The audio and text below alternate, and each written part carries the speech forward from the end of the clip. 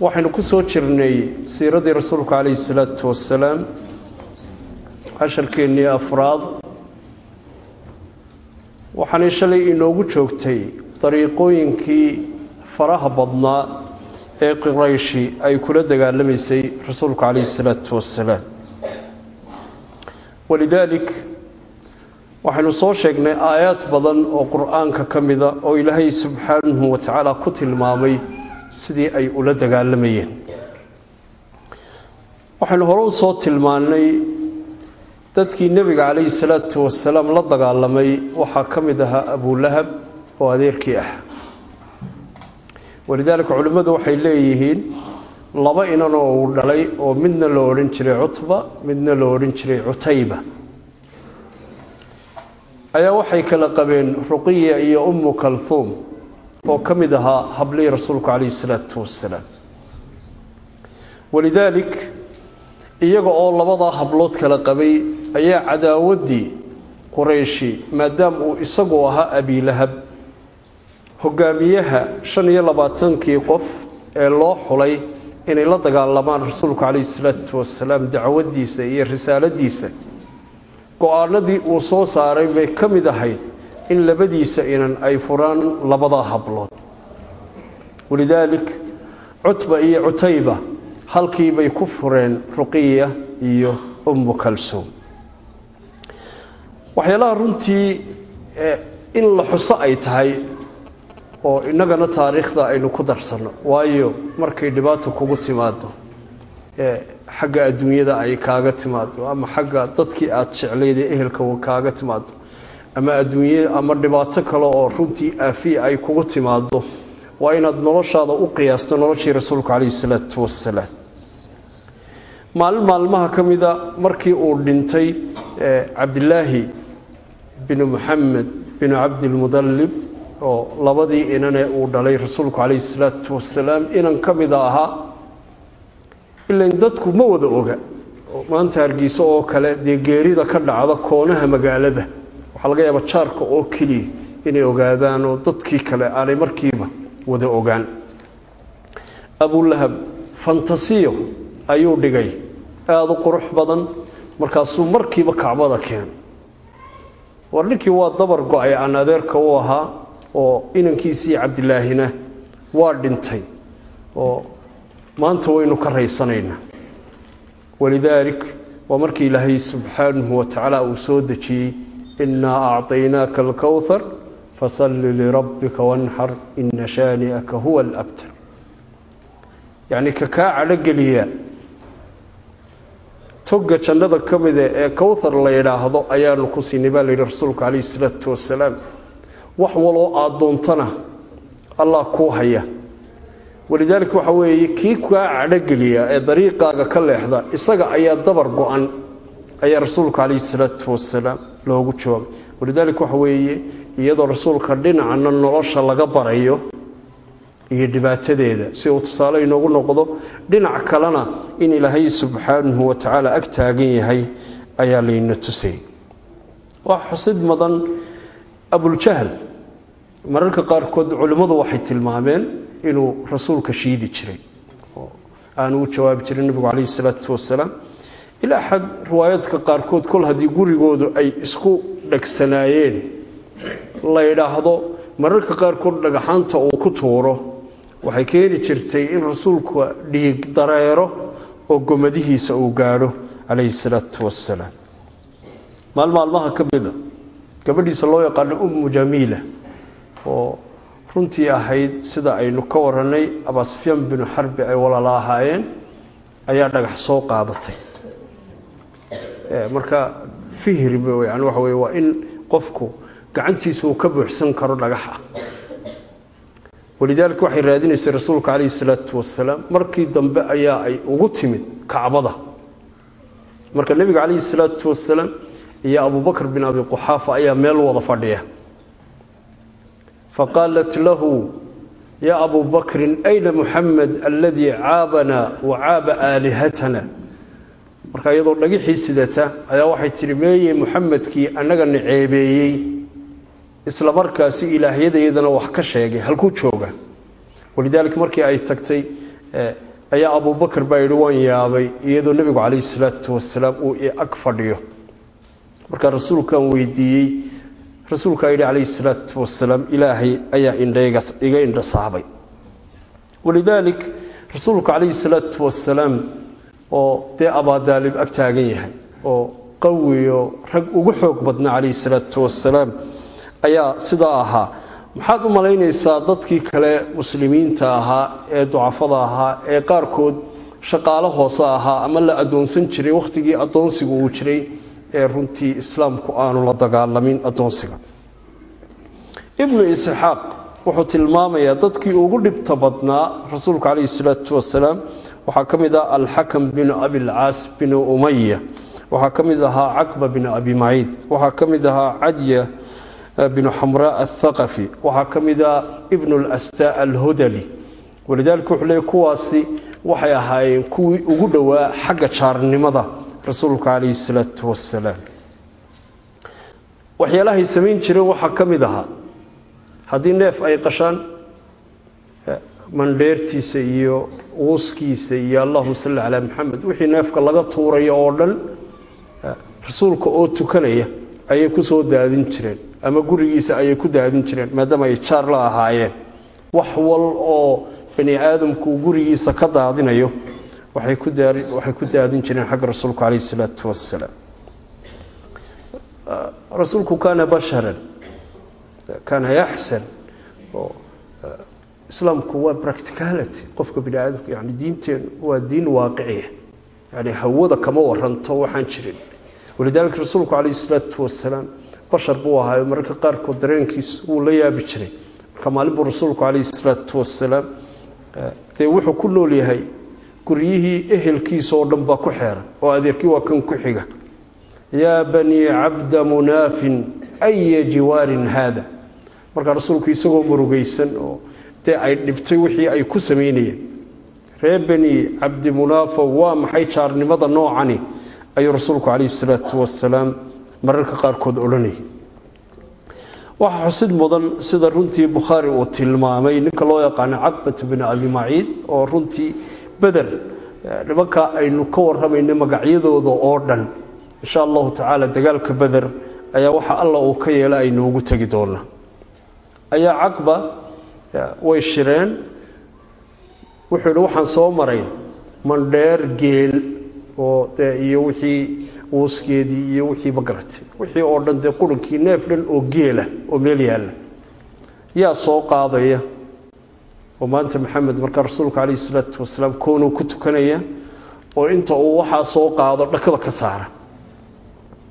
Caqba bin abi maciid ninkaasi iyo tiim uu wato ayaa xilkaa qaaday dabeete waxaa la yidhaahdaa madheertii iyo wixii iswatay iyo uuskii iyo qurankii oo dhan bay soo qaadeen.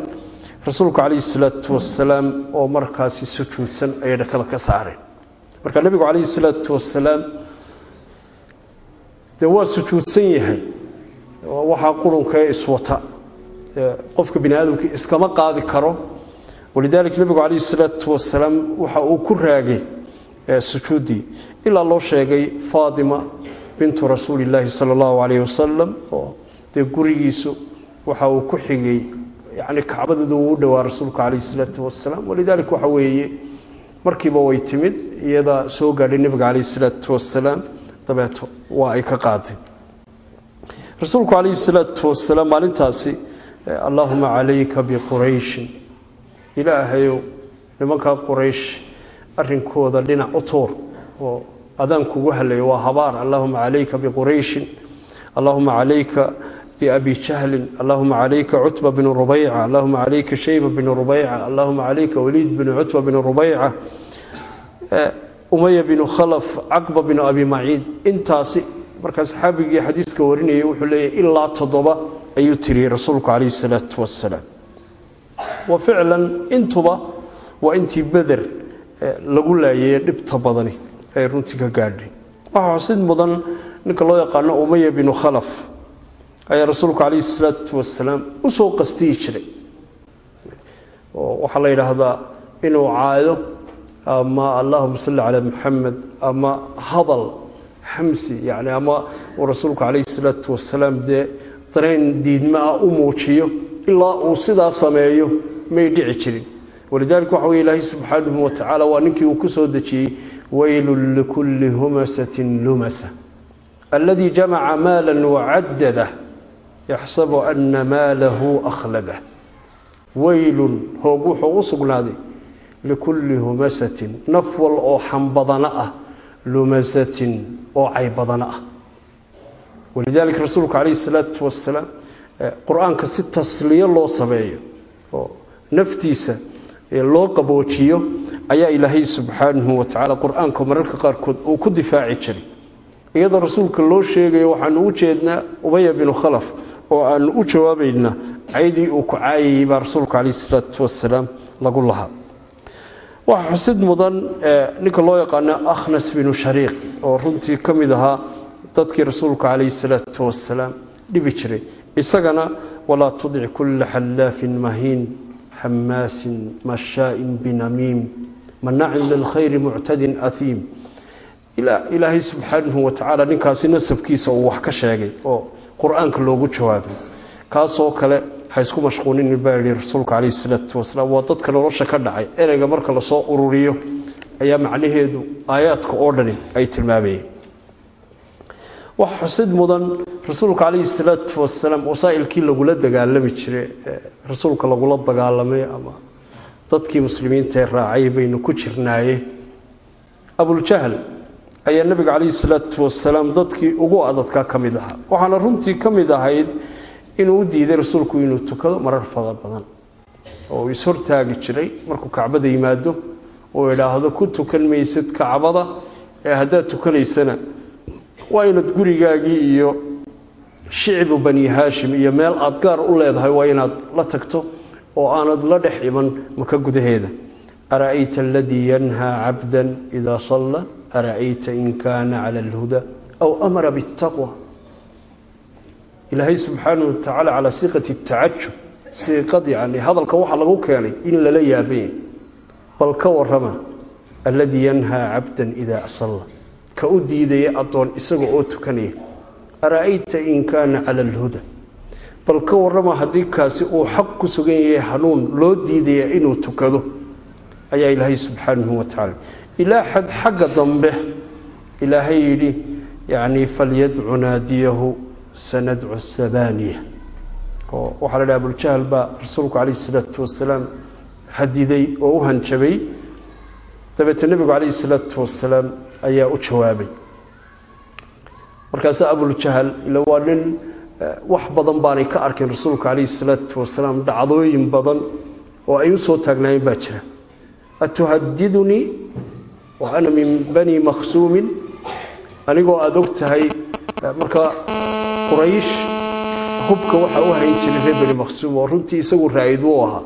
Walidaalika waxaa la yidhaahdaa dee reerka ugu hawsha badan leh quraysh ayaa uu ka dhashay abuljahl manoo aada og tahay inta aan nin soo kicin karo oo aan labadaa waadi maanta rag ka buuxin karo ayaa doonaysaa inaad ii hanjabto buu ku yihi rasuulku calayhi salaatu wasalaam falyadcu naadiya bal ciddii u yeedhayo ha u yeedha baa ilaahay subxaanahu watacaala yidhi sanadcu sabaaniya malaa'igta sabaaniyada la yidhaahdo ciidamadayada khaaska ah ee marka aanu doonno aanu dalbanno ee alla uuni og yahay ayaanu u yeedhaynaa baa ilaahay subxaanahu watacaala yidhi walidaalika waxa weeye qur'aankaasoo dhani rasuulkaa tasliye la siinayay ilaa intuu garab iyo xoog helayo ilaahay subxaanahu watacaala uu u tilmaamaya in la ag yahay. Kuma uu runtii joogsan abuljahal in uu go'aankiisu ahaaday inuu ceebeeyo rasuulka calayhi salaatu wasalaam laakiin maalintii dambe ayaa markii aada iyo aada loogu helceliyay oo ficlan wuxuu aa nin aada u karti badan raganimo lagu ogaa inkastoo ragnimadiisii dee islaamka ay rasuulku calayhi salaatu wasalaam in badan buu u duceeyey laakiin aan ilaahay waafajin. Maalintii dambe ayaa wuxuu go'aansaday. Wuxuu yihi berri igu eega muxamed marka waxa la dha dhagax weyn buu diyaarsaday oo meesha uu rasuulku calayhi salaatu wasalaam meesha uu ku tukanayo inuu meel ka sarraysay intuu istaago. Dhagaxaasi uun ku soo daayay rasuulka calayhi salaatu wasalaam ayaa ka go'aanahay markii nebigu calayhi salaatu wasalaam yaa ayuha rasuulu balliq maa unzila ilayka wamaa unzila min qablik.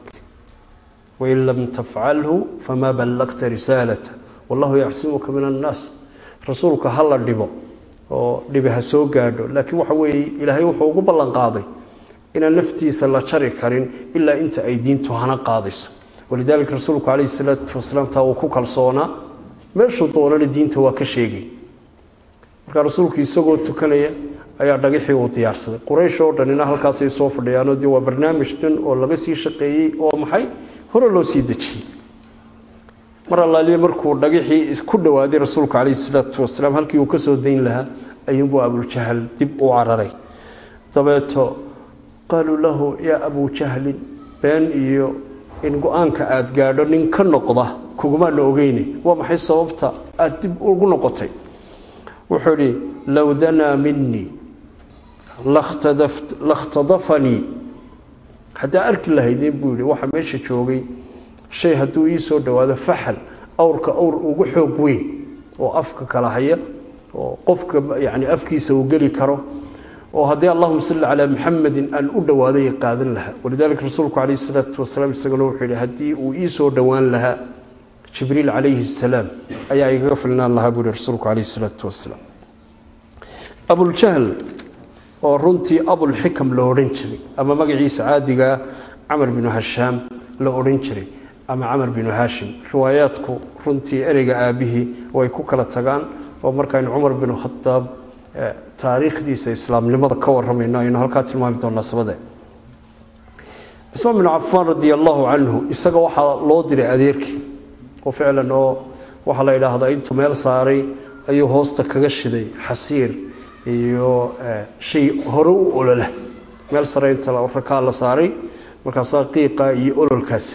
Cismaan binu cafaan radia allahu canhu uu soo gaadhay. Waxaa ka mid ahaa muscab binu cumeyr dadkii runtii rasuulka calayhi salaatu wasalaam hore ugu islaamay bani aadamka qof baa layska jeceliyay sidii abubakar oo kale. Marka muscab bin cumeyr isaguna wuxuu ahaa dadkan dhallinyarada ugu quruxda badan leh ugu kartida badan leh. Yani mawaahibta ay dhallinyartu jeceshahay oo dhan qofku intuu dhallinyarta leeyahay hadday hadal noqoto haddii ay dhar xidhasho noqoto hadday noqoto soo jiidasho haddii kale abuur hadday hadal noqoto hadday aqoon noqoto ayuu ahaan jiray. Walidaalika waxaa la yidhahdaa muscab bin cumeyr wuxuu ka mid ahaa quraysh inan ka mida oo qaangaadhay oo aan tamaniyeyn inay guursato muscab bin cumeyr may jirin. Hooyadiina waxayd gabadh aada iyo aada u taajirada.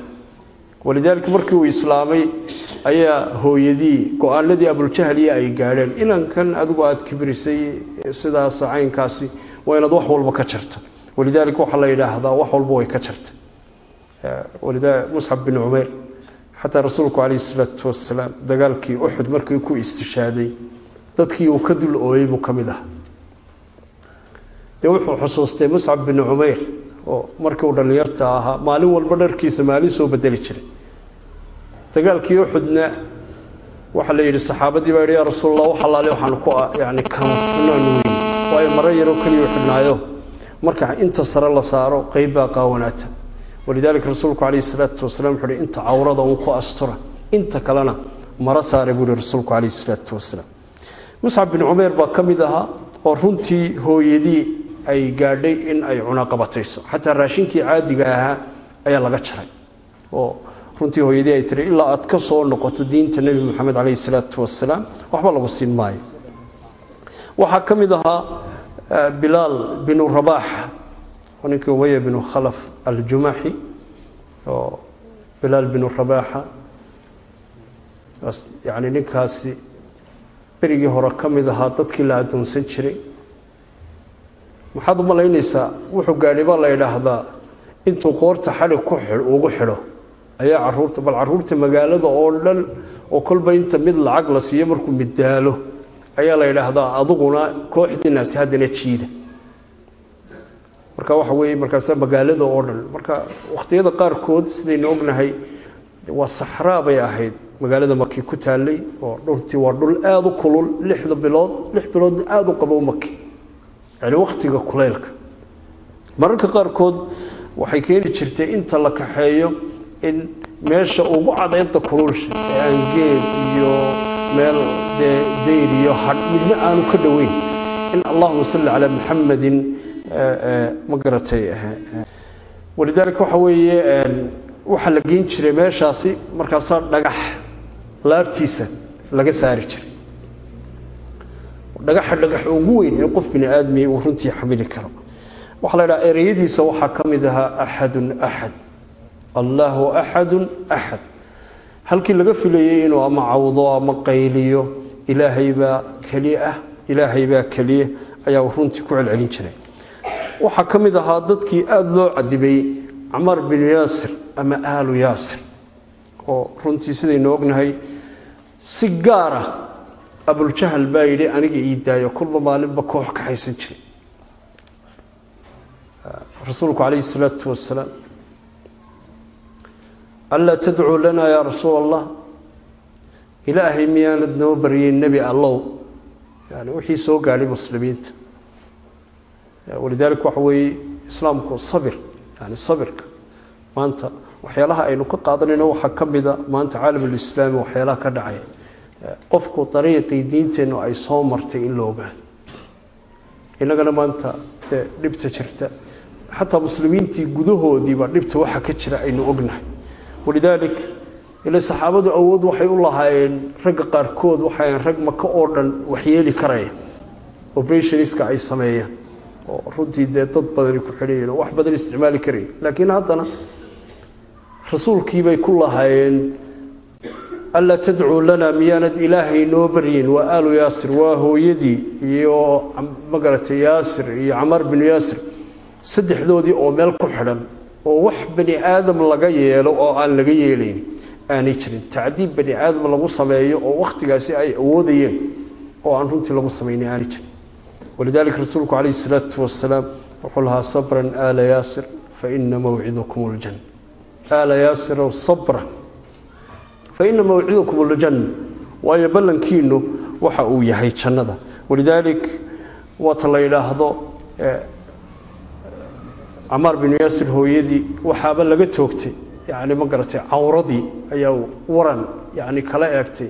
Walciyaadu bilaahi abuljahl sidoo kale aabihii sidii loo tacdiibinayay ayuu dhintay. Labadii waalidba markii ay dhinteen ee isaga la soo gaadhay ay yidhaahdeen ma ka gaaloobaysaa muxamed faqaala nacam markii de iqmaa ku dhacay kooma markii uu galay.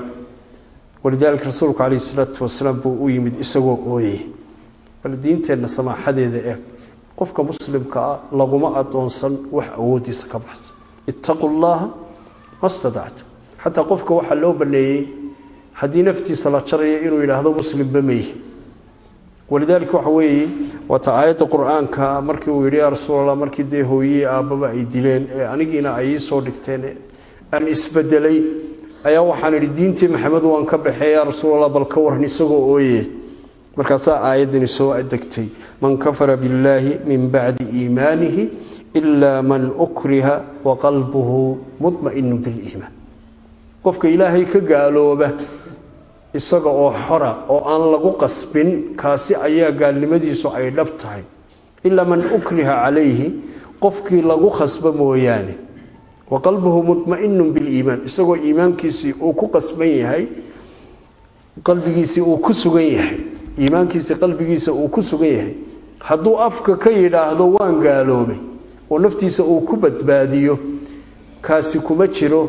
Rufica can ummatii alkhaطأu wاlnisyaanu wama stukrihu qofka saddex baa laga dhaafay buri rasuulku calayh isalaatu wasalaam ilowga wixii ku dhaca ee aanu qofku is-ilowsiin iyo gefka wixii uga dhaca qofka leanna waxa wey qofku hadduu isaga oo sakaaro tooganaya ama dee ugaadhsanaya si yani ma garatay sudfo ah yani qof bini aadmiya meesha uga soo baxo meel keen oo rasaastii ay ugu dhacdo dee waa khata wey qofkaas qofka muslimkii walaalkii muu dilin. Marka khataii baa ka mida ilaa xad haba gaadha ee qofkii marka yani gef wixii uga dhaco. Wamastukriha iyo wixii qofka lagu qasbay awoodiisa ka baxsan intaba looma qabanayo. Walidaalika aayad qur'aana ayaa ku timid camar binu yaasir. Waxaabuu ka mid ahaa dadkii sugnaa ee xataa muslimiintii markii ay isqabteen taqtuluhu alfi'atu albaaqiya dadka oo dhan koox waliba waxay eegaysay saxaabadu markii ay isqabteen camar binu yaasir baa qiyaasta ahaa. Kolba kooxda uu la jiro ayaa kooxda toosan ay u arkayeen. Leanna rasuulku calayhi salaatu wasalaam ayaa sii sheegay. Waxaa xusid mudan gabadha loo yaqaano zaniira iyo annahdiya iyo inanteedii ummu cubays.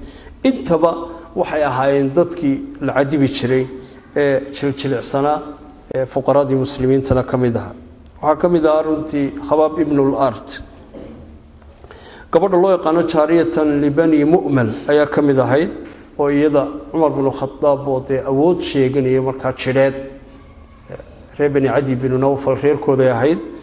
Marka cumar binu khadaaboo bal quwo aadam waxaa la quraysh marka ay noqoto dadkii ugu xooga badnaa aha ayaa isagu khaas u laha oo marka uu daalo ayaa waxa uu ku idhaahda waan kugu soo noqonayaa hamoodin inaan joojiyey ee daal dartii baan kaaga tegay odhan jiray sida uu garaacayo. Rasuulku calayhi salaatu wasalaam si muslimiinta uu uga yareeyo dhibaatada haysata waa kii u sameeyey guriga loo yaqaano daarul arqam ibnu abil arqam. Oo ficlan gurigaasi saxaabigaasi alarqam bin abil arqam almakhsuumi ayaa lahaa. Rasuulku calayhi salaatu wasalaam saxaabigaasi si gaara ayuu madiinana markii uu tegey gurigii ugu horeeyey muslimiintu ay yeesheen waa saxaabiguu siiyey waa ninkaasi waa ninkii inala soo tabcay islaamka usoo dagaalamay waayo intaasoo goor buu abuljahal shiriyey quraysh war gurigaasi ha la dumiyo gurigaa maxamed dadka ku shirinayo ee uu diinta ugu yeedhayo cusub ha la dumiyo intaasoo go-aan bay quraysh soo saartay inkastoo runtii dee waa isku qabiilay ahaayeen oo haddana dee sii kala jili bay ahaayeen oo aanu awoodaan lahayn oo dee lagu dagaalamayey laakiin waxa weye intaasoo go'aan baa laga soo saaray in gurigaasi la dumiyo. Walidaalika rasuulku calayhi salaatu wasalaam halkaasi oo koono yaro ahayd ayuu muslimiinta ku ururin jiray. Markay ku dhowdahay sannadkii afraad oo runtii dhammaadkiisii ay tahay rasuulku calayhi salaatu wasalaam go'aan ayaa uu soo saaray. Waxaanuu yidhi markaa dee ilaahayna waa la shaqaynaya rasuulku calayhi salaatu wasalaam macluumaadka yani technologyga waayo qudus de insha allah waxaynu tegi doonaa rasuulku calayhi salaatu wasalaam waxyaaluhu ka warrami jiray runtii dee haybiyaadka ah isagoo weligii safrin insha allah waxaynu ugu tegi doonaa marka israha iyo micraajka rasuulku calayhi salaatu wasalaam qorayshi ay wax badan weydiinaysa rasuulku najaashi iyo safaradaa muu gelin laakiin waa loo warrami jiray rasuulku calayhi salaatu wasalaam. Walidaalika nebigu calayhi salaatu wasalaam wuxuu ogolaaday saxaabadu inay baxaan sannadkii shanaad. Waxaanu yihi waxaa u hojrootaan ardulxabash boqor najaashi la yidhaa ayaa jooga oo muslimiintu ay ku nabadgelayaan halkaa u baxa buu yihi rasuulku calayhi salaatu wasalaam. Marka runtii waxaa baxay labiyo toban raga iyo allahuma salli calaa muxamedin afar dumar ah oo runtii hogaaminaya cusmaan bin cafaan iyo ruqiya bintu rasuulillaahi sala allahu calayhi wasalam oo runtii markaasi uu qabay ayaa baxay. Sababtana runtii culimmadu waxay leeyihiin aayad badan baa soo degay oo saxaabada u warramaya. Oo ka warramaya qofka muslimkii inuu bixi karo haddii masalan meel lagu dhibo oo uu awoodi kari waayo inuu diintiisa ku guto inuu dhulka kale u kala bedelan karo. Liladiina axsanuu fi hadihi اdunya xasana waardu llahi waasica inamaa yuwafa asaabiruuna ajrahum bigayri xisaab. Aayadahaasoo kale ayaa rasuulku calayhi salaatu wasalaam ku soo degay oo tilmaamaya in dhulka ilaahay ballaadhan yahay oo ay bixi karaan. Almuhim runtii saxaabadii way baxeen. Labiyo toban saxaabi iyo afar dumara ayaa baxay oo uu tiimkaasi hogaaminayo cismaan binu cafaan radia allahu canhu waxaa runtii xusid mudan muddadii ay maqnaayeen oo sanadkii shanaad ee islaamnimada ku beegnayd ayaa maalin maalmaha ka mida rasuulku calayhi salaatu wasalaam uu istaagay kacbada qurayshi waxay odhan jirtay laa tasmacuu lihada alqur'aani walgow fiih qur-aanka ah dhegaysanina yacni ku foodhiya oo ku qayliya.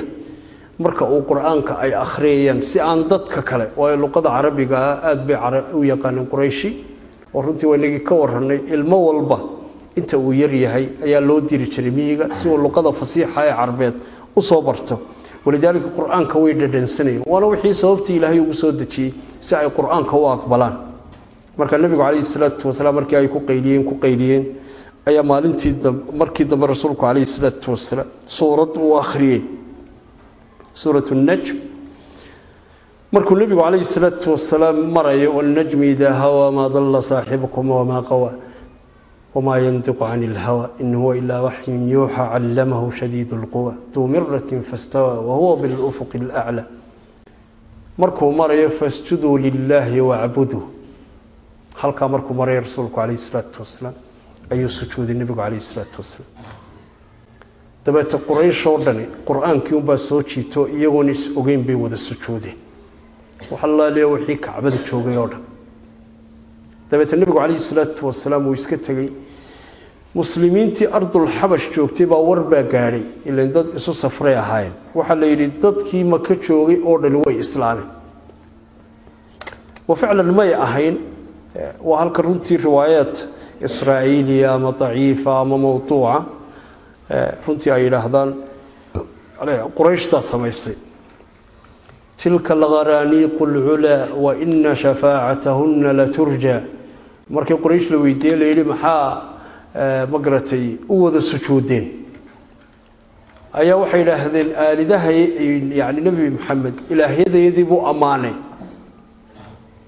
Oo ma garatay? Uu wax ka sheegay wuxuu yidhi ma garatay kuwaasi waa kuwii loo dhowaanayey ee shafaacada laga rajaynayey ayay yidhaahdeen sidaasay ma garatay waa israailiyaadkii ka mid tahay.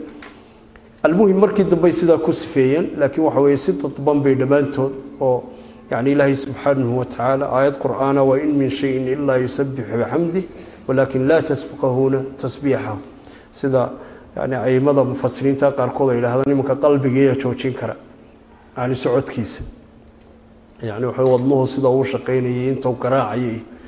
Xubnahaasoo dhan imise xubnood baa shaqaynaya oo qofka bini aadamka awooddiisa ka baxsan. Markii ilaahay joojiyo ayuunbay joogsanayaan. Walidaalika waxaa la leeyahy ma garatay wax uu qofka bini aadamkii ku qasban yahay ayaa jira. Almuhim waxaynu uga jeednaa muslimiintii ardul xabash tagtay oo dhan ayaa dib u soo noqotay. Ile maka oo dhan baa islaamtay bay leeyihiin mar allaalihi markii ay maka soo gaadheen ayuunbay arkeen maka oo sideedii. Marka nin walba qofbuu qofkii ehelkiisa ahaa ama ay isku wanaagsanaayeen ayuu u tegey isagoo la war waa taagan tahay bal intaan haddana ama dib u baxaya ama qiil kale aan helayo adiga aan agtaada waana runtii dadkii laga awooda badnaa dadkii baxay. Walidaalika waxa weeye muddadii ka dambeysay waxaa ku adkaatay dadkii inay sii joogaan. Walidaalika waxaa la idhaha sannadkii shanaad aakhirkiisa ilaa sannadkii lixaad rasuulku calayhi salaatu wasalaam wuxuu haddana u ogolaaday inay dib u baxaan. Markaas saddex iyo siddeetan saxaabi iyo siddeed iyo toban dumara ama sagaal iyo toban dumara ayaa dib u baxay oo runtii dib ugu baxay ardulxabash qurayshi arrintii dhib bay ku noqotay. Waayo waxay ogaadeen muslimiintii inay leeyihiin meel ay tagaan oo beysa oo ay ku soo nastaan oo hadhowna iyaga oo awoodla ay ka soo noqonayaan dabeete quraysh baa runtii ka shirtay waxay idhaahdeen arrintaasi waa inaynu go'aan ka gaadhnaa. Yaa inoogu xagga ma garatay wufuudda iyo hadalhelista iyo safaaradaha aynu la leenahay qabaa'ilka iyo waddamada inagu jaarka ah yaa loo diri jiray. Marka laba nin baa la soo xusay camar binu caas iyo cabdilaahi bin abi rabiica camar binu caas oo duhaat lcarab runtii muslimiinta dadka tricska ma garatay marka la wada hadlayo hadalka ka faa'iidayskiisa dadka runtii lagu tuhumi jiray buu ka mid ahaa camar binu caas oo ficlan dee saxaabadii waaweyneed buu markii dambe noqday isagii cabdilaahi binu abi rabiicaba way islaameen markii dambe labadoodaasaa la diray meeshii bay tegeen kooxdaa dambe ee ardul xabash tagtay tii hore cusmaan bin cafaan baa hogaaminayay. Tan dambe jacfar bin abi aalib ayaa ayaa hogaaminayay. Halkii bay ugu tegeen. Weliba waxaa laga sii ururiyey quraysh wax ma garatay dadka ku xeeran najaashi oo dhan baa layihi qof walba waa in hadiyad ka yaabisa la siiya. Mid walba waxbay siiyeen mid walba waxbay siiyeen ku talagaleen ficlan wakhtigaa dadkaasi wixii ay qiimeynayeen ah ayuhalmelik bay idhaahdeen waxaanu nahay quraysh ayaana soo dirtay runtii dee quraysh kacbada macruuf aada baa loo yaqaanay dowlad bay ka ahayd yacni waddamada carbeed qurayshi maadaama ay xaramkii deganaayeen waxaanu kuugu nimid waxaa naga soo fallaagoobay koox yar oo halkan idinla joogta oo diinteedii ka baxday oo idinkana weli maydin fahmine dhibaato idinku abuuri doonta waxaa go'aan laygu soo siiyey inaad noo soo celiso. Muslimiinta runtii way shireen go'aan bay qaateen. Waxay idhaahdeen yaa inoo hadlaya jacfar bin abi aalib adaa afhayeen inoo ah adaanu ku siinay awooddii la hadal marka najaashi runtii oo markaasi ahaa nin sida aynu taariikhda ku hayno rasuulku calayhi salaatu wasalaam waa qofkii ugu horeeyey ee uu ku tukaday qiyaabiye nebigu calayhi salaatu wasalaam walidaalika waxa weeye waxay tilmaamayaan in uu soo galay xaqbadii ma garatay dariiqa wanaagsan ayaa ay taasi tilmaamaysa. Najaashi ayaa u yeedhay wuxuu yihi nimankaasaa ii yimid waa kuwan labadii nin. Waxay idhahdeen nimankan waa niman diinteedii ka leexday arrinkiinu muxuu yihi jacfar bin abi aalib baa hadlay wuxuu yihi carab baa nala odhan jiray quraysh baanu ka sii nahay waxaanu nahay dad meydka iyo shayga aan meydka ahayn uu u siman yahay. Neefku hadduu meyd yahay haddii kale cunaanu ahay. Waxaanu ahayn dad hablahayaga kuwan ugu jecelnahay in xabaal nololiya ayaanu ahay. Waxaanu ahayn dad midba kaayaga uu ka awood badan yahay uu xoolihiisa xoog ku haysto xoogna ku qaato ayaanu ahayn. Waxaanu ahayn dad kaayaga yar iyo kaayaga weyn qof waloo qaangaadhay khamrigu uu xalaal u yahay ayaanu ahayn waxaanu ahayn dad aanay waxba ka xaaraan ahayn. Yani noloshii qureysheed oo dhan buu ka waran dabeete nebiga calayhi salaatu wasalaam baa noo yimid oo ka mid ahaa quraysh reerkii noogu wanaagsanaa buu ka soo baxay. Isla markaasi gurigii ugu wanaagsanaa buu ka soo baxay. Wuxuu ahaa mid aan sifooyinkaasoo dhan lahayn. Ka hor intii aanu diinta la iman oo isagoo aan khamriga cabin oo isagoo aan sinaysan oo isagoo aan yacni cid dulmiyin sifooyinkii oo dhan buu ka warramay dabeete wuxuu noogu baaqay in ilaahay keligii la caabudo isaguna uu yahay rasuulkii ilaahay waxaasoo dhanina ay xaaraan yihiin dabeete waanu raacnay waxaa la yidhaahdaa kelmad walba marka uu yidhaahdo najaashi asbaxi annajaashi waxaa la yidhaahdaa yacni wuxuu madaxa ayuu luxaa isagoo la dhacsan ereyada uu ma garatay jacfar bin abi aalib uu ku baaqayo dabeete runtii waxaa la yidhaahdaa ushiisiibuu garaacay isagoo la kaasi waa dariiqii yacni ciisa uu ma garatay ina soo gaadhsiiyey isagoo leh. Halkii baa lagu kala hagaago. Dee camar binu caas iyo cabdilaahi binu rabiica waxay arkeen meesha in lagaga guulaysto lagu kala tegay mar allaaliye markii ay gurigii isla tegeen ayaa camar binu caas ayaa yidhi arrinkii ugu cuslaa ee markii hore aan islahayaan lagu kala guurin ayaan soo saari doonaa buu cabdilaahi binu rabiica yidhi maxaad odhan doonta waxaan odhan doonaa buu yidhi nebiyullaahi ciisa calayhi salaam waxay leeyihiin waa addoon addoommada ilaahay ka mida ay leeyihiin wa ficlan cabdullaahi wa rasuuluh ayaa dee qur'aanku inuu addoon yahay nebiyullaahi ciisa calayhi salaam yahay rasuul ilaahay soo diray. Yacni aan ku dhalan dariiqii bani aadamka caadigii uu ku dhalanayay laakiin kelimatuhu alqaha ilaa maryam ku dhashay ruux ilaahay ku afuufay maryam caloosheeda oo dabeete sidaa ay ku caloolgasho uu ku caloolgalay nebiyullaahi ciise sida fii suurati yar maryam ku sugan cabdilaahi binu abi rabiica oo dadku waa kala dareen bani aadamku inkastoo ay isqabtaan laakiin cabdilaahi binu abi rabiica wuxuu hi war sidaa ha yeelin colaaddeennu may gaadhin in la tirtiro nimanka aynu ehelkane aynu tolka nahay warkadaa taa ha yeelin nacam inaanan meeshaa kaga noqonayn iyadoo layga guulaystay buu yihi camar bin caas. Oo ficlan maalintii dambaa laysu soo noqday. Ayuha almelik waxaanu kuu sheegaynaa boqor yahow nimankan waxaad wax ka weydiisaa. Ciise waad og tahay waxaa ka aaminsan tihiin. Ile qaar inuu inay ilaahay yahay mid inuu ilaahay yahay mid in saddexda ilaah mid ka mida uu yahay allahu haaliu halaaa intaasay aaminsanayn walidaalik inkastoo najaashi aanu isagu aaminsanayn oo sidan muslimiintu ay aaminsan yihiin aaminsanaa laakiin dee dadka uu u talinayo ee nasaarada ah ee meesha degan iyo inta ku xeeran aaminsan qaarkood inuu inay ilaahay yahay. Walidaalika waxa weye dareenkaasi inuu isbedelo ayay doonayeen. Meeshii baa la iskugu yimid. Dabeeto najaashi baa yidhi maxaa ka odhanaysaan ciisa calayhi salaam? Dabeeto jacfar bin abi aalib baa kacay suuratu maryam buu akhri dabeeto wuxuu yidhi ayuha almelik ciisa waa cabdullaahi warasuuluh wa kalimatuhu alqaha ilaa maryam albatuula alcadraa.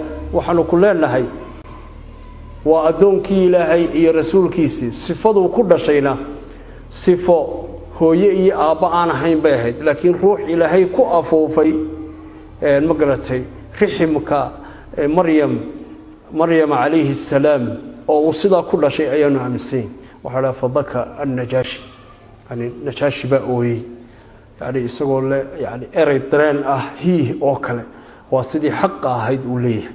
Badaariqadiisii meesha joogtay oo dhanina markaasay runtii oohintii ku dareen halkii baa lagu kala tegey go'aankaasi runtii waxa uu ku dhammaaday jacfar bin abi aalib oo runtii isagana ilaahay waafajiyey inuu xaqi haleelo. Walidaalika waxa weeye halkaana waxa laga qaadanaya dadku marka ay isqabtaan dariiqa wanaagsane qofka uu u sheegaya waa halkeeda. Laakiin qofku in wixii xaqu yahay uun runtii tilmaamo walidaalika ilaahay subxaanahu wa tacaala inuu khayrka waafajinayo. Qurayshi arintaasi aada iyo aada bay dhib u gelisay go'aan deg degay qaateen. Waayo camar binu caasoo dee ay aada iyo aada ka mid ahaa ficlan dadkii qurayshi ay ku faani jirtay. Oo insha allahu tacaala taariikhda xagga dambaynu ugu tegi doonaaye waxay arkeen in runtii muslimiintii awooddoodii xataa dowladihii jaarka ay kaga awood badanayaan. Dabeete go'aan bay soo saareen. Waxay idhahdeen go'aankii ugu dambeeyey waxa weye abadaalib waa inaynu la kulanna. Abadaalib bay u yeedheen. Waxay idhaahdeen inankaasi gacanta naga soo geli waa quraysh hoggaankeedii oo dhan isagoo keliya ka maqanyay ama noo go'aan baanu ku qaadanay inankaa waxaanu ka yeelinay ama gacanta naga soo geli haddaad doonayso ninkaasi boqortooyo doonayo diyaar baanu u nahay hadduu doonayo lacag wax allaaliya waxay qurayshi haysato ayaanu ku wareejinayna marka adduun iyo suldad hantidii iyo baawarkii labadaba waanu siinayna ninkaa bal miduun ka keen wax walba diyaar baanu waa nahay ajacala alaalihata ilaahan waaxida ina hada la shayun cujaab miduun go'aan ka keen. Ilaahay keligii caabuda oo saddexdaa boqol iyo lixdankaa sana ee kacbadeennu ku soo caanamaalnay iska daadiya waxaanu aqbali karayna maaha ee intaasi uun go'aankeeda ka keen. Abadaalib runtii maalintaa culays bay saareen. Waa bashar buu ahaa. Isla markaa dee mu ahayn? Nin muslima. Ee ilaahayunbaa ku quweeyey rasuulku calayhi salaatu wasalaam rasuulku uu tegay calayhi salaatu wasalaam wuxu uhi ya bnu akhi da-deyda waad arkaysaa adduunkaygana waad ogta.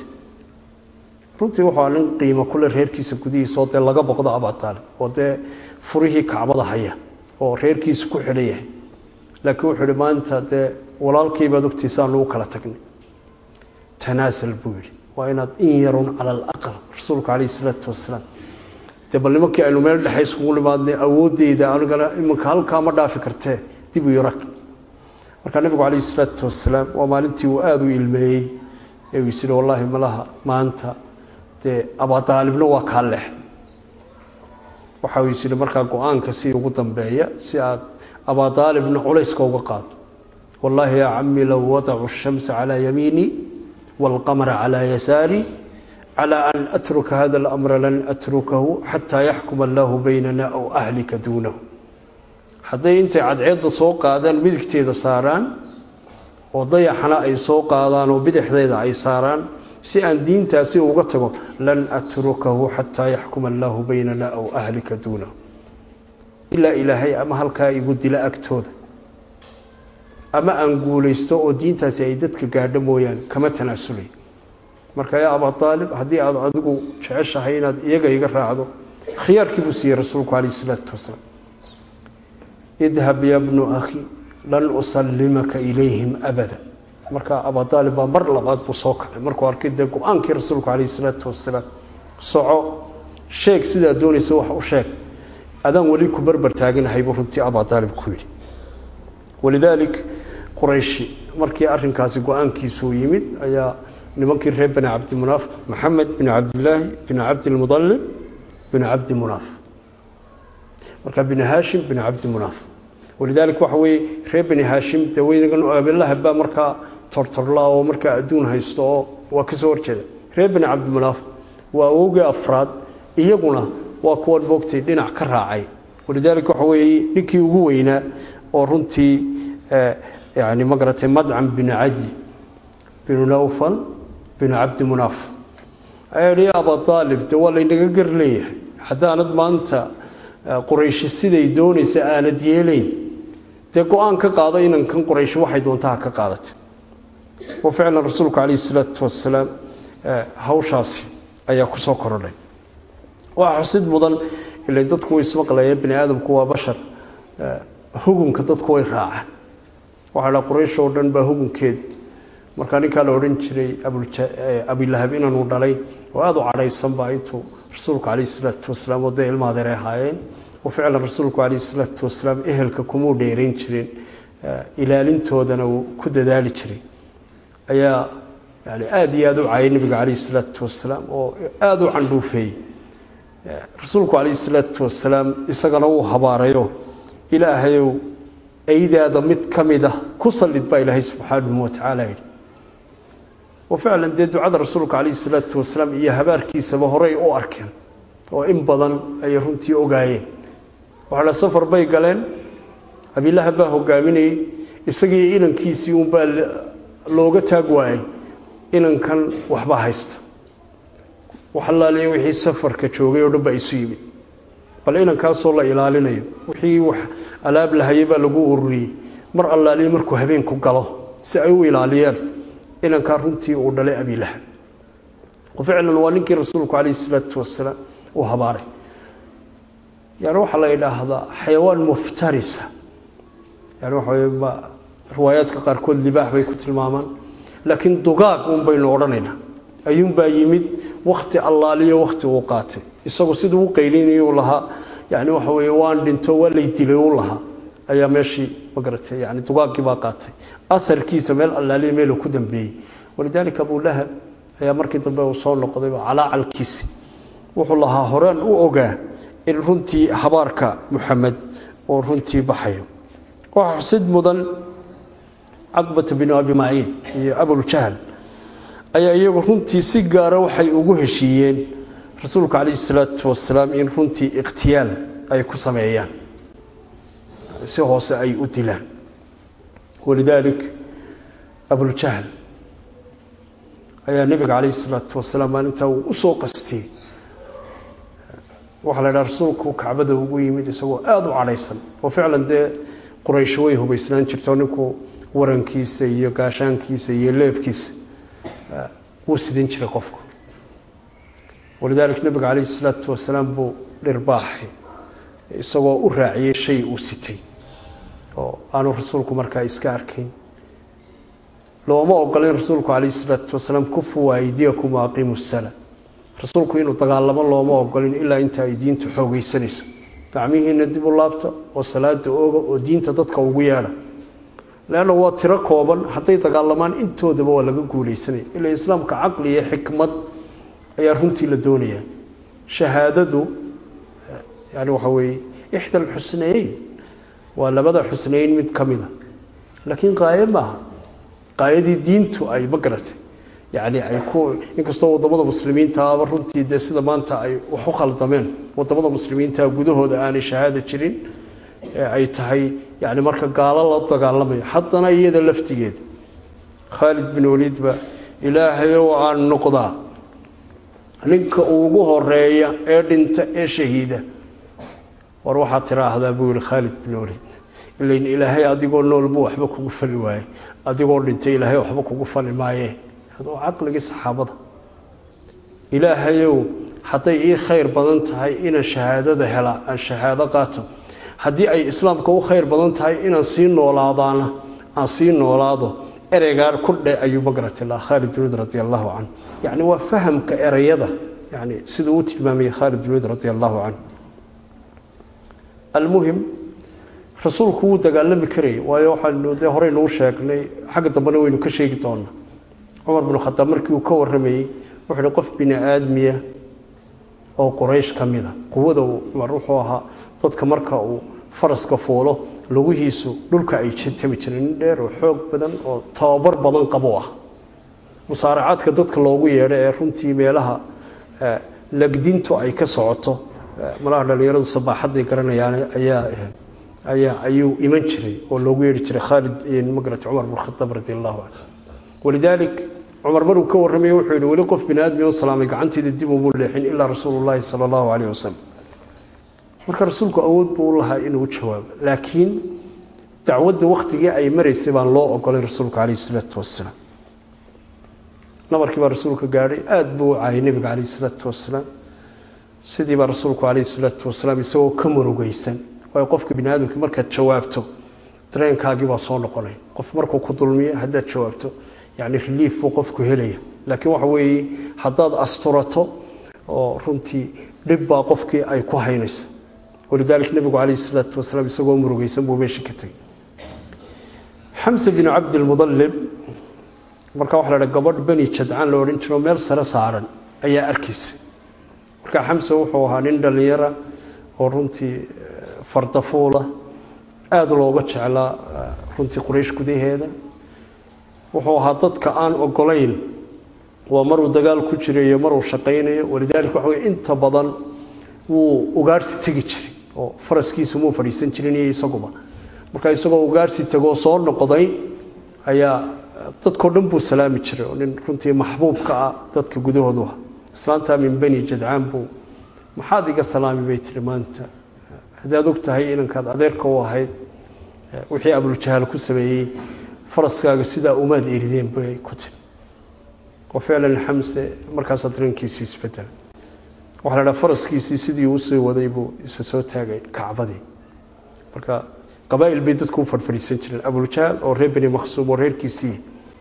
Marka qurayshtii kalena meesha ay wada fadhido marka intuu soo degay unbuu waxaa la dhaha wuxuu ku dhuftay qowskiisii atashhtumuhu wa ana calaa diini marka waxaa la dhaha masaafad aada u dheer laba nin oo labada ninba aada u xoog badan bay ahaayeen laakiin gacantii buu kaga horeeyo masaafad buu dhowr goor isrogay abuljahaal markaasaa wejigiisa uu dilaaco dhiig badani ka yimi reer bani maqsuum wixii meesha joogaa nin walba galkii seefta ka saar si uula dagaalamay xamse binu cabdilmudalib dacuuhu faqad shatamtuhu ibnu akhiih marka abuljahaal nin aada u caqli badan buu ahaa wuxuu hi war anaa ka gardarnaaye waayo ma waxay isleedihin haddaa xamse la dagaalantaan ama aadishaan makaa joogi doontaan buu yidhi laanna maka dee waa laba sidaasay iskugu wada naban yihiin oo ficlan dee waana isku reer sii dhow bay ahaayeen reer beni maqsuum ila reer beni haashim isla markaa isku rag bay ahaayeenoo dagaalkoodu dee waa dagaal qurayshi ay ku dhammaanayso ayuu ahaa war anaa ka gardarnaa buu yidhi